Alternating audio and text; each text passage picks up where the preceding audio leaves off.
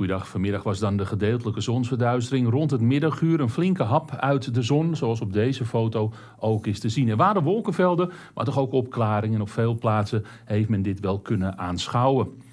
Ja, wolkenvelden en opklaringen, dat houden we de komende tijd nog wel. Morgen denk ik dat er wel veel bewolking is, die vaak ook overheerst. En misschien dat er in de ochtend ook nog wel een enkel buitje valt in het zuiden van het land. De dagen erna gaat de temperatuur steeds verder omhoog, want de stroming die blijft zuidelijk. En vanuit onder andere Spanje en Frankrijk wordt zeer zachte lucht aangevoerd. Dat gaan we zien op de thermometer. Donderdag en vrijdag lokaal 23 graden, denk ik. Woensdag niet nog die hoge temperaturen, maar wel zacht voor deze tijd van het jaar. Het wordt 17 tot 20 graden. Er zijn wolkenvelden aanwezig en de zon die breekt af en toe door. Zoals gezegd, in de vroege ochtend kan er misschien in het zuiden ook nog een enkel buitje vallen. In de middag blijft het vrijwel overal droog.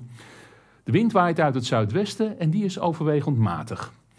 Donderdag hogere temperaturen. Het wordt dan 19 tot 23 graden. De kans op een bui is wel aanwezig, met name in de kustgebieden. De wind die draait wat meer naar het zuidoosten en is overwegend matig.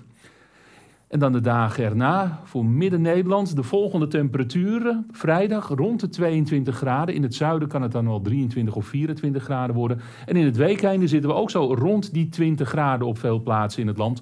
Met daarbij een afwisseling van wolkenvelden en zonnige momenten. Het blijft waarschijnlijk droog. En begin volgende week gaat de temperatuur dan heel langzaam wat dalen.